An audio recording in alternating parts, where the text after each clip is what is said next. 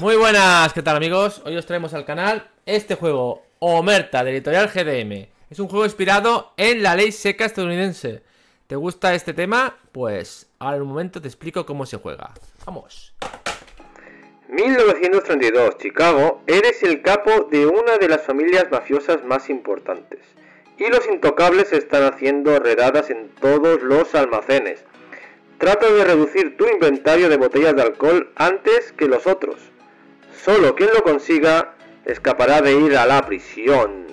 Muy buenas, ¿estáis preparados para saber cómo se juega este Omerta? Pues vamos allá. Omerta, lo, primero, se reparten cuatro cartas a cada jugador. Aquí, aquí están mis cuatro. Estos son mis zonas de mi mazo. Luego está la caja fuerte y la pila de robo. Hay que dejar una zona para, pues para la pila de descartes, ¿vale? Como todos los juegos. Bueno, el juego funciona de la siguiente manera.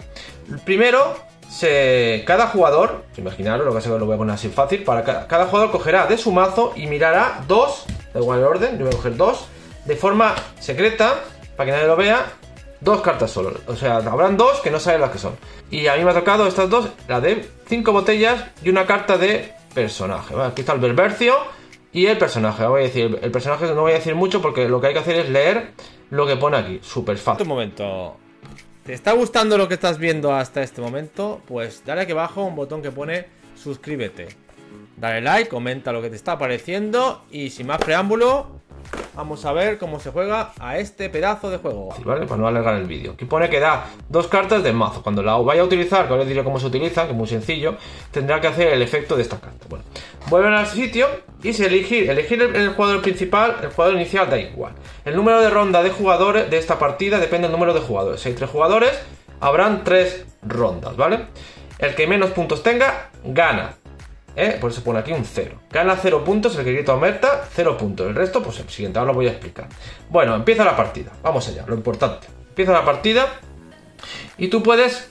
Ahora, el primer jugador, como no hay carta de descartes, puedes o coger una de estas, coger una de estas, o coger una pila de descartes. Como no hay, voy a coger de, de la pila de robo, ¿vale? Pillo una y veo que hay un 5, ¿vale? Un 5. Esto lo vería yo solo, eh, de forma reservada, ¿vale?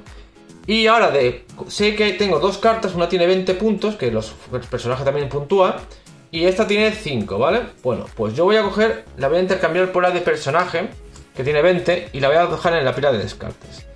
Eh, voy a una aclaración, porque si cogieras la pila de descarte, si coges de la pila de robo, puedes, si ves una que no te interesa, la puedes directamente a la pila de descarte, ¿vale? Tú imaginas que esta no me interesara, la puedo dejar directamente. Pero, pero, importante, si la cojo de la pila de descartes, no la puedo devolver, me la tengo que tragar sí o sí, porque realmente la pila de descartes, tú estás viendo perfectamente cuál es, o sea, la cogerás si te interesa, ¿vale? Bueno, en el momento que, en el momento que se pone aquí la carta de personaje, pues tienes que hacer su efecto. Como he dicho anteriormente, cada personaje tiene un efecto, casi todos son positivos, o para ti o para fastidiar a tus rivales, ¿vale? Esta da dos cartas del mazo, a quien tú quieras. Coge dos cartas, sin verlas, la he visto pero como si no la había visto, y esas dos cartas se las doy a cualquier jugador que yo quiera que esté jugando conmigo. Bueno, aquí mismo, pues, este es, cuando más cartas peor, porque la, en la finalidad del juego, eh, os voy a decir, la finalidad del juego es cuando tú creas que en tu mazo tienes 7 puntos o menos, gritas Omerta cuando te toca a ti, no en el momento de coger una carta, en el momento que te llega a ti el turno, gritas Omerta desvelaría las cartas y si tienes realmente 7 puntos o menos, ganarías 0. Y el resto de el resto de jugadores tendrían que desvelar y se sumaría sus cartas. Y si tuvieran 7 o menos, también puntuarían 0. Pero si tuvieran más, pues puntuarían el número que tuviera según su valor, ¿vale? Bueno, el siguiente sería, me llega otra vez a mí el turno, y yo decido eh, coger una carta, esta, la de 8, la dejo aquí, y tiro esta, vale. Muy bien, 5. Perfecto, muy bien como al pelo.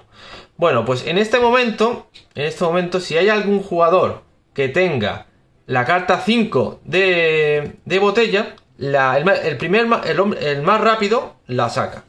Por ejemplo.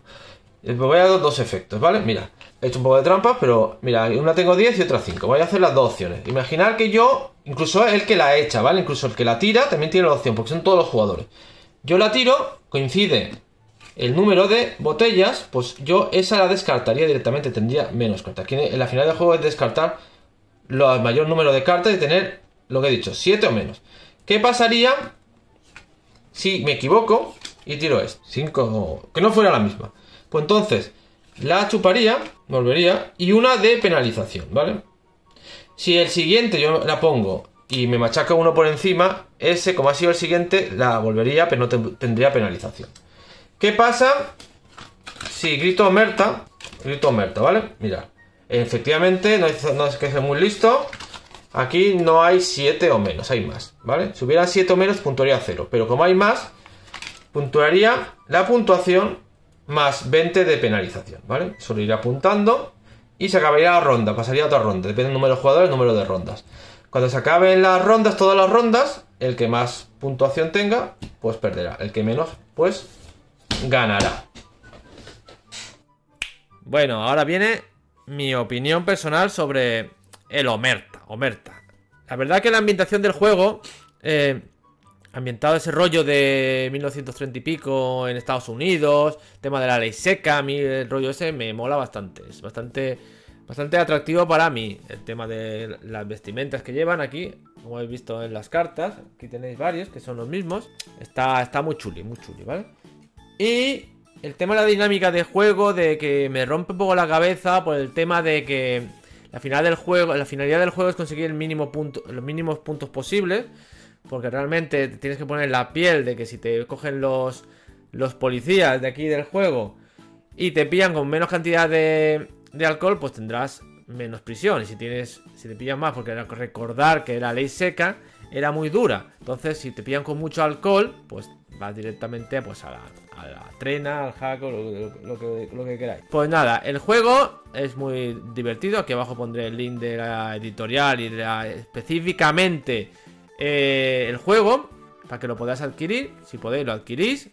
Y si os gusta el rollo, como he dicho, de, de del padrino, cosas así, la ley seca, pues es muy aconsejable.